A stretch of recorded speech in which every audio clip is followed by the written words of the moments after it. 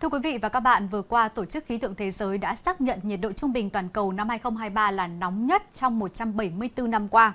Trong năm 2023, nhiệt độ toàn cầu cao hơn khoảng 1,45 độ C so với mức nhiệt độ trung bình hàng năm thời kỳ tiền công nghiệp giai đoạn 1850 đến 1900. Tuy nhiên, tình trạng này không làm mất đi rét đậm rét hại tại Việt Nam. Thực tế, từ tháng 12 đến nay, khu vực Bắc Bộ và Bắc Trung Bộ của Việt Nam liên tiếp đón nhận các đợt không khí lạnh mạnh khiến nền nhiệt giảm sâu. Nhiều khu vực vùng núi cao còn xuống dưới không độ và xuất hiện băng giá. Việc này có gì bất thường hay không? Các chuyên gia khí tượng đã chính thức lên tiếng lý giải điều này.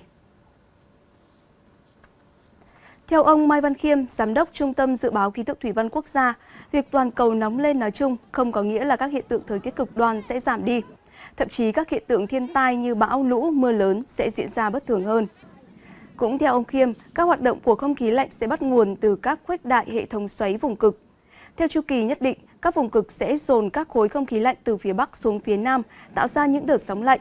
Tuy nhiên, có những lần các xoáy vùng cực bị biến dạng thay đổi, sóng lạnh lớn sâu hơn, thì lúc đó các khối không khí lạnh từ Bắc cực dồn về phía Nam sẽ mạnh hơn, tạo ra các đợt không khí lạnh mạnh. Đây là thực tế đang diễn ra. Hiện nay ở các vùng cực Bắc, cực Nam đang chịu ảnh hưởng rất lớn của sự nóng lên toàn cầu. Hai vùng này cũng là nơi bị tăng nhiệt độ nhiều nhất.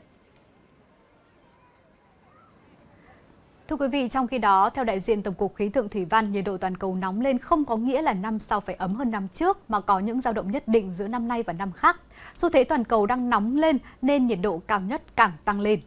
Tuy nhiên, điều này không có nghĩa là nhiệt độ nhỏ nhất phải tăng lên và lớn hơn những năm trước. Nhiệt độ nhỏ nhất sẽ lặp lại ít hơn và thời gian xuất hiện lâu hơn. Vậy nên biến đổi khí hậu không thể làm mất đi rét đậm, rét hại mà chỉ làm nó xuất hiện ít đi.